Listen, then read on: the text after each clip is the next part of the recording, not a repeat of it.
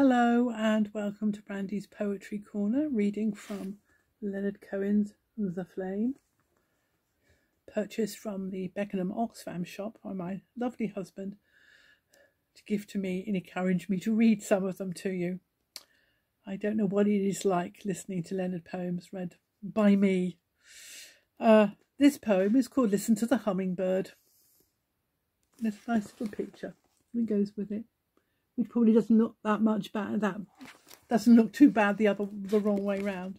So this is listen to the hum listen to the hummingbird by Leonard Cohen. Listen to the hummingbird whose wings you cannot see. Listen to the hummingbird. Don't listen to me. Listen to the butterfly whose days but number three. Listen to the butterfly. Don't listen to me. Listen to the one in charge who studies your ID. Listen to the one in charge. Don't listen to me. Listen to the sovereign heart. Resign its sovereignty. Listen to the sovereign heart. Don't listen to me. Listen to the mind of God, which doesn't need to be. Listen to the mind of God. Don't listen to me. Thank you.